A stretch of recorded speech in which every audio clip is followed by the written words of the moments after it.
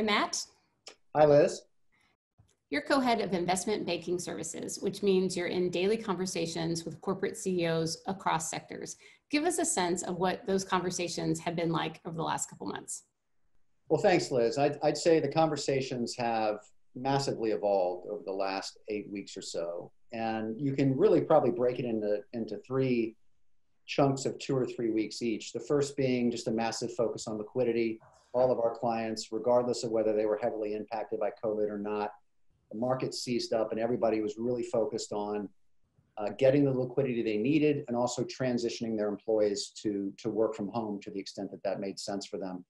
The second two weeks was really trying to get their arms around the long-term and short-term impacts of all of this on their industry and on their company and what could be the unforeseen things that might happen in the coming weeks that they should plan for then uh, in order to position their company uh, to, to continue to thrive going forward. I'd say now, uh, once they've gotten through a lot of that, the focus really is on Q1 earnings calls and, and being very focused on how to tell the company's story at a time when the economic out, outlook is so uncertain.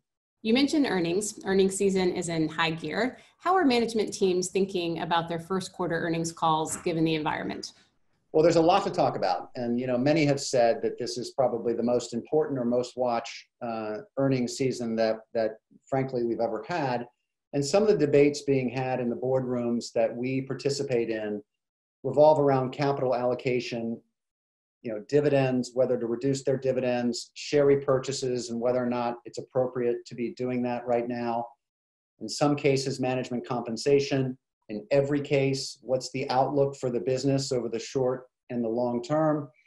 In some cases, how to deal with, uh, with the government and whether or not they want to deal with the government.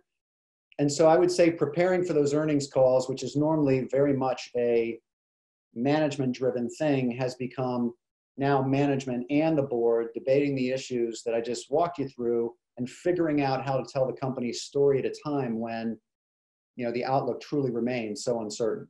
And how do the conversations with clients vary according to sector? I mean, most of our clients right now are in a place, just given the nature of COVID 19 and how it really impacts all of us, uh, where their businesses are not doing well. And industry depends really what industry you're in, how well you're not doing. But the story that they're working to tell on their earnings call is to try to provide their investors with a viewpoint on how their business is going to recover over the cycle as we as a society move through this and look to the other side what has ch- what trends have changed in their industry what's going to be different or the same but you know when we think about the mix of our clients who are negatively impacted by this versus those who might have seen a little pickup in demand it's literally 90% plus uh, clients are struggling with this and maybe 5 to 10% have seen a pickup in demand you mentioned corporate boards, and you spend a lot of time talking with the people who serve on the boards of directors of our clients.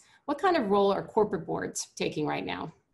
So, as you said, Liz, we spend a lot of time with boards as part of our advisory work with companies and also as part of our director initiative here at the firm that we spend a lot of time on. And I would say boards have taken, in general, across the board, a more active role in the past two months than they did, obviously, in the previous year. Boards were always engaged, but we're in a crisis. And in a crisis, the board gets more involved with helping the management team deal with whatever issues that are surfacing in that crisis. Now, these directors tend to have lots of experience, come from many different industries, so they're all going to have their own point of view on what the client should do when it comes to issues like cutting their dividend or reducing the workforce or dealing with the government or whatever. And what you tend to find is that for any particular issue, there's two or three directors on that board that have the particular experience or expertise to draw on.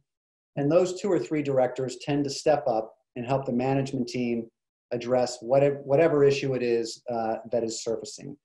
But even in those cases, especially in a crisis like this one, where the companies are so impacted both operationally and financially, the full board is generally highly engaged. Matt, everyone has an eye on the future and hopefully a return to normalcy in whatever form that might take. How are those types of conversations taking shape with clients?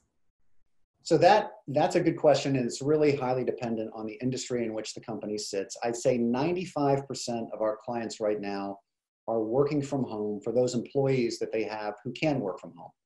They're getting good at Zoom and good at WebEx and conference calls and everything else that we're getting good at here at Goldman Sachs. But we also have a lot of clients that run manufacturing plants and power plants and food plants, where many of their employees are already back to work. These are essential, essential businesses, if you will. Now, I don't have a crystal ball uh, on this topic, but I do think back to work is going to come in phases.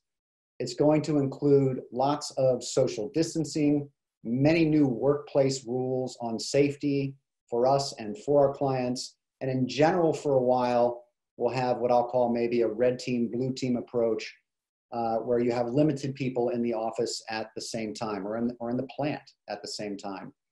So take that, proliferate that across restaurants, retail, travel, uh, and all of that. And I think that's what you'll see a gradual reopening of the economy with new rules, one step at a time.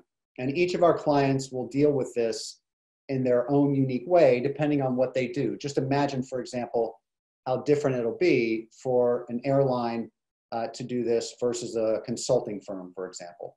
And in talking about the future, are you starting to have conversations about corporate strategy, things like M&A?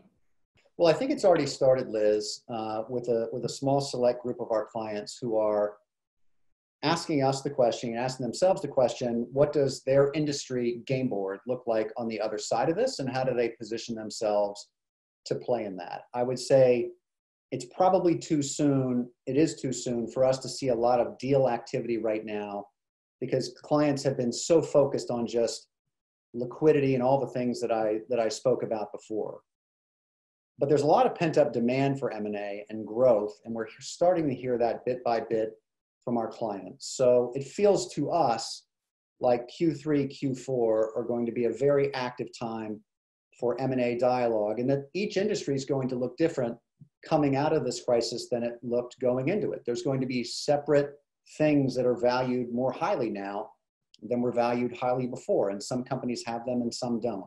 And so there will truly be a different strategic game board coming out of this and I think that's what our clients are excited to talk about. And Matt, from your perspective at Goldman Sachs, what does client engagement look like during this time of social distancing? Uh, I would tell you internally, it feels like we're talking to our people more than we ever have, even though we're not physically seeing people. We're working very hard to stay in touch optically by seeing each other through Zoom uh, and through other means. What we're obviously not doing right now is traveling to go see clients. Uh, and you know, I'm a firm believer in the in the importance longer term of human contact and that you build a relationship face to face. It might be easier to maintain one over video, but building trust, um, putting yourself in that position where you're the client's trusted advisor is something that I think is going to continue to take place face to face once we get on the other side of this. There's just no way around it. But what I do see changing is you might see on the margin more conferences, more meetings uh, taking place via video that other otherwise would have taken a bunch of people flying across the country to make happen. I think people will be more focused on efficiency to complement uh, face-to-face meetings, but not replace. Thanks, Matt. Thanks, Liz. Thanks for having me.